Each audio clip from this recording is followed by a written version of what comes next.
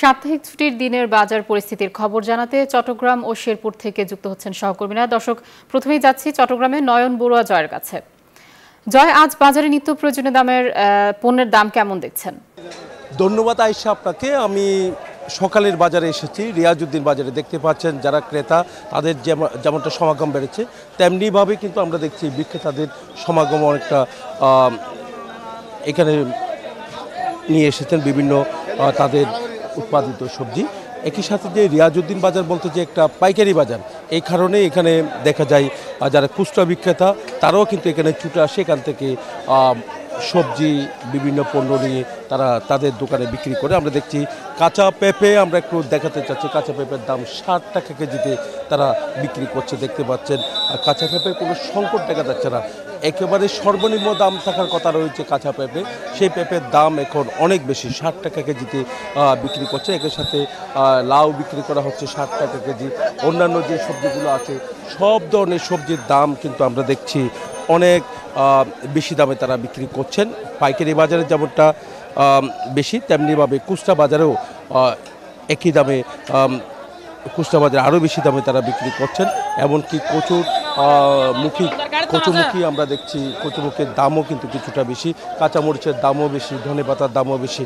তবে বাজার মনিটরিং যে নিয়মিত করা দরকার এখনও পর্যন্ত সেভাবে বাজার মনিটরিং হচ্ছে না। তার কারণে যেমন খুশি তেমন দামে তারা বিক্রি করছে বলে আমাদেরকে জানিয়েছেন। এখানে যারা বিক্রেতারা আছেন, তারা বলছেন সবজির সংকট, বৃষ্টি হয়েছে, কোনো কোনো জায়গায় বন্যা হয়েছে।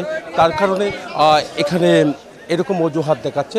আর এখানে যারা ক্রেতা, তারা বলছেন, সবজির কোনো কমতি নেই বাজারে, তবে তারা তারা যেমন খুশি তেমনভাবে বিক্রি করছে, যেহেতু বাজার মনিটরিং খুব কম দেখা যাচ্ছে তার কারণে। এই ছিল আমার এখানকার সর্বশেষ, ফিরে যাচ্ছে আমার সহকর্মী অপেক্ষা করছেন শেরপুরে ওবায়দুল কাছে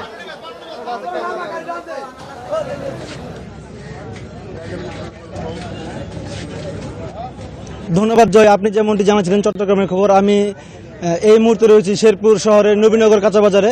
এটি কিন্তু শেরপুর শহরের সবচেয়ে বড় খুচরা কাঁচা বাজার। আমরা এখানকার যে ক্রেতা এবং বিক্রেতারা রয়েছে, তাদের সাথে কথা বলে যেটি জানতে পেরেছি যে সাম্প্রতিক বন্যা এবং বৃষ্টির কারণে কিন্তু এই কাঁচা বাজারের দাম একটু বাড়তির দিকে। আমরা যেটি কথা বলে জানতে পেরেছি, সব ধরনের সবজির দাম কিন্তু বাড়তি। যদি একটু আমি জানাই যে এখানে কিন্তু পেঁয়াজ বিক্রি হচ্ছে প্রতি কেজি একশো টাকা।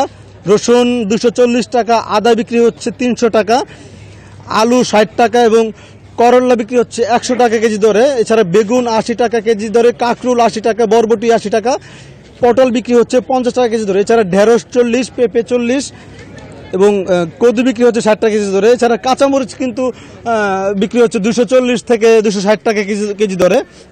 এছাড়া শশা বিক্রি হচ্ছে আশি টাকা কেজি দরে। আমরা ক্রেতাদের সাথে কথা বলছি, জানতে পেরেছি যে গত সপ্তাহের সাথে কিন্তু সব ধরনের সবজির বাজার কিন্তু বেড়েছে।